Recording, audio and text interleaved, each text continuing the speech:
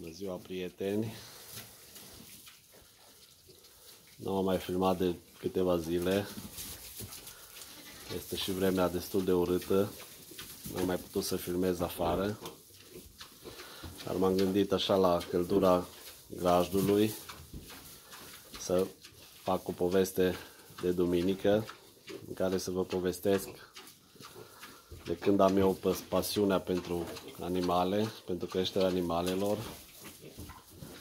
Deci pot să spun că am început să cresc animale de la vârsta de 12 ani, dar pasiunea o am mai de timpuriu. De când eram mic, de la 6-7 ani, făceam animale din lut, cai, porci, vaci.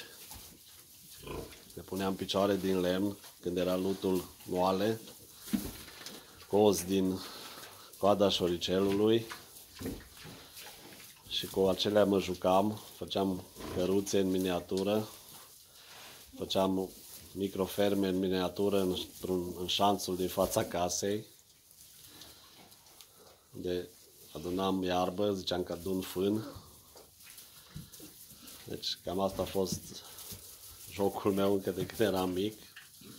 Iar de când am început să pricep, de la 12 ani, am început să cresc porci, găini, gâște. Iar de la 14 ani am avut prima căpriță.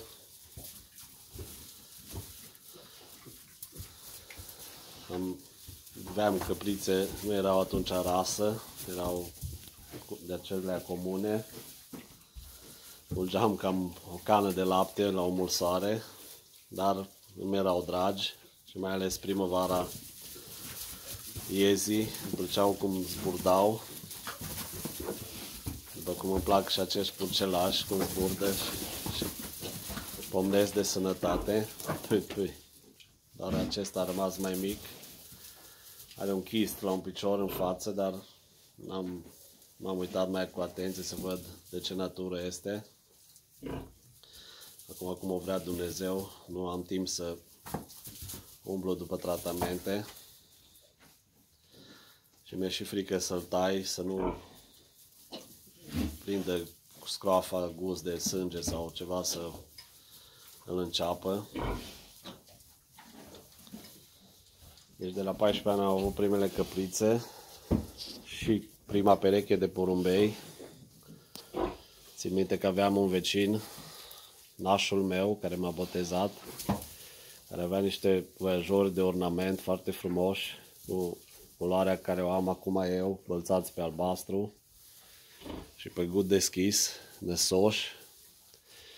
Și într-o zi am găsit la porci căzut un porumbel tot ciupelit, a căzut în troaca porcilor. Era să mănânce porcii, dar l-am salvat și l-am îngrijit, i-au crescut pedele. Deci am adus o pereche I-am spus și nașului că era porumbelul lui, dar a spus să-l păstrez. Deci mi-a mai, mai, mai dat el câte un mascul sau o femelă în funcție de cum aveam nevoie. Așa mi-am făcut un stol de porumbei. Prima dată îl țineam în podul casei, casa bunicilor, care nu mai este. Deci acolo am început cu porumbei. Am avut prima dată voiajor de zbor după care mi-am făcut un volier în curte, pe pământ. Nu era super mare, era de vreo 4 metri pătrați. De fapt nici chiar 4, 2 pe, cred că 2 pe 1 jumate. Unde am început să-mi țin, să-mi formez de fapt, prin împerecheri repetate, să-mi formez curoarea mea preferată, bălțat pe albastru și pe gud deschis. Până am ajuns la 40-50 de bucăți, erau foarte vigilenți și iarna stăteau pe casă pentru că nu aveau loc înăuntru. Dar niciodată nu mi-a prins uliu niciun porumbel. Când simțeau uliu, zburau în stol. Deci nu se știa nici de tratamente, nici de vaccin la porumbei și erau foarte sănătoși.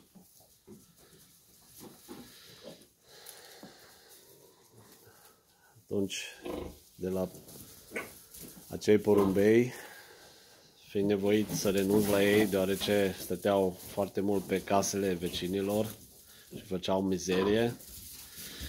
Mi-am construit un volier mai mare și am vândut acei porumbei de zbor, trecând la porumbei de ornament, începând prima dată cu voiajori germani de frumusețe, după care din 2012 am început să cresc și John Homer, americani de frumusețe. Atunci deja început să iarăși să îmi doresc o microfermă, exact ca în visul meu din copilărie. În 2016 mi-am cumpărat un teren pe care mi-am făcut casa. Atunci a trebuit să renunț la o parte din animăluțe, la rațe mute aveam atunci și porci vietnamezi pe lângă porumbei. Am păstrat doar porumbei la care le-am făcut un volier nou care este și în ziua de astăzi, în 2016, deci prima dată am făcut volierul, după aceea casa, în 2017 mi-am făcut casa și din 2017 am colțit din nou dorința de a-mi crește capre,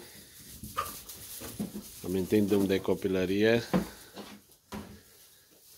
și dorind să văd din nou eduții zburdând Plus că și laptele este foarte sănătos.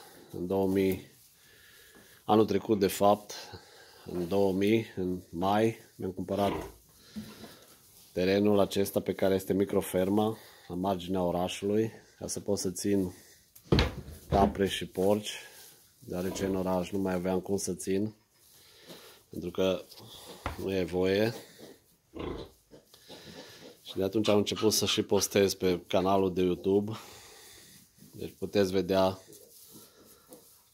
cum au început primele construcții la grajd și la fânar. Atunci am văzut pe OLX la un domn dintr-o localitate învecinată șase capre foarte frumoase cu ugere imense. M-am hotărât să-l sun, l-am sunat și am plecat, cam tot așa pe sfârșitul mai, să le văd.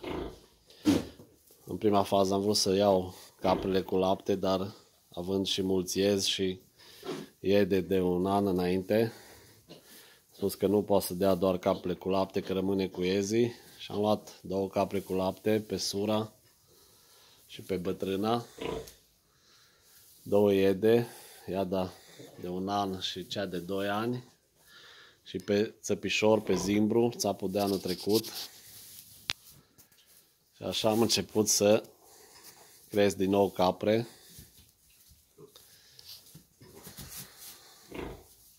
Despre care mai știți și din videourile anterioare. Deci cam asta a fost scurta mea poveste cu pasiunea pentru animale, care după părerea mea ne naștem cu ea și odată intrat microbul nu cred că mai scăpăm de el și porumbei vreau să spun că din, de la 14 ani, având acum 46 de ani jumate, nu am renunțat nicio clipă la porumbei. Chiar mutându-i în altă locație când am fost nevoit, dar nu am renunțat la ei. Și în ziua de azi mă bucur că am, mi-am format două linii de porumbei, de german și de John Homer, foarte frumoși și continuăm în continuare cu creșterea animalelor, deși nu este o afacere, nu este un câștig. Cheltuim mulți bani cu ele, dar mulțumesc lui Dumnezeu că am de unde să le întrețin și realmente sunt relaxarea mea după o zi de muncă în fiecare zi. Mai sunt și zile mai ploioase și mai friguroase în care mă gândesc că mai bine aș sta în pat, dar vin și le dau să mănânce și îmi fac datoria față de ele.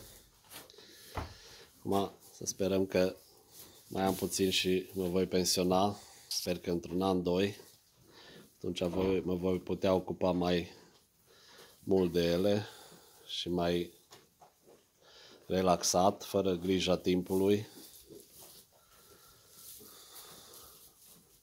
Speranța că nu v-am plictisit prea mult cu povestirea mea. Vă doresc o duminică plăcută și ne vom revedea cu un următor video în care voi vorbi mai pe larg despre fiecare căpriță. Întrucât o abonată mi-a dat această idee și este chiar o idee foarte bună și vă rog să mai dați idei de acest gen despre ce vreți să povestim. Speranța că v-a plăcut acest video, vă doresc o duminică plăcută. La revedere!